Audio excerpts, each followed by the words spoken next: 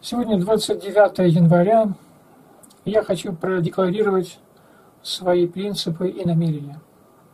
Вчера в веганских чатах Фронт освобождения животных, а эти чаты, кстати, создавались именно как веганские, и под освобождением понимается в первую очередь отказ от животноводства как жестокой индустрии эксплуатации. Так вот, вчера в этих чатах возникло недопонимание и конфликт между аболиционистами и велферистами.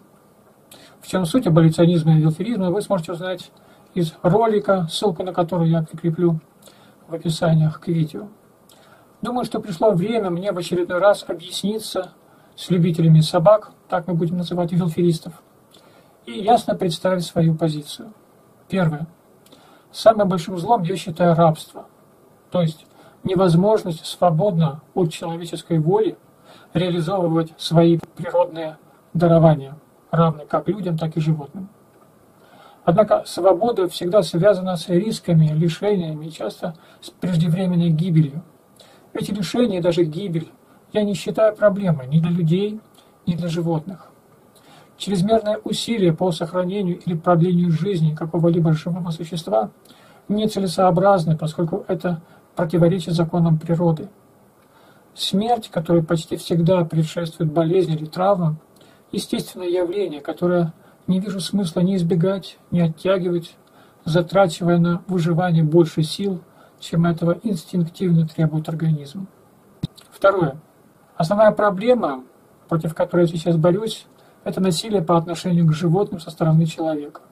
Такое насилие больше вредит человеческому обществу, чем животным, которые в любом случае подвергаются достаточно жесткому насилию друг от друга. Мы не видим, но знаем, что почти каждый день в Бендерах и Тирасполе погибает собака при отлове соответствующей службой.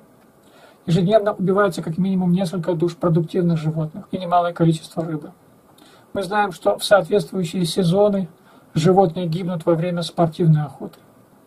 Это знание удручает меня гораздо больше, чем встретившийся на улице щенок, родившийся от бездомной собаки и страдающий в своей естественной среде обитания от недостатка комфорта или недостатка здоровья, как детеныши диких животных страдают в лесу. Третье. Я уважаю чувства любителей собак, которые опекают бездомных животных, устраивают им уютные домики, обеспечивают едой, заботятся о пристройстве, лечат. В случае просьб или крайней необходимости я, по возможности, помогаю этим добрым людям. Четвертое. Я категорически против физической войны с людьми за животных, поскольку рассматриваю людей как один из видов животных, и в видовой иерархии люди для меня в приоритете. Поэтому никогда не провоцирую конфликты между зоозащитниками и исполнителями, как то отстрельщики собак или бойцы скота. Если публикую информацию о факте убийства животного, то только для того, чтобы вдохновить граждан республики на гуманное решение вопроса, которое потребует немало денег. Проклятие в адрес власти или в адрес исполнителей негуманных решений – это не те результаты, к которым я стремлюсь своими публикациями.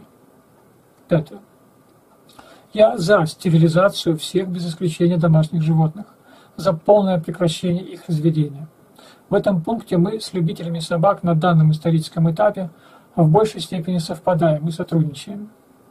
В ближайшее время на территории частного владения я построю вольер для собак, оборудую теплое помещение, где можно будет летом и зимой передерживать прооперированное животное. Думаю, что многие из любителей собак знали о моей позиции и догадывались о ней, Поэтому своей декларации принципов и намерений я только вношу ясность в наши отношения. Надеюсь, что эта ясность избавит меня от неуместных претензий любителей собак, которые, по недоразумению, возможно, принимали меня за велфериста.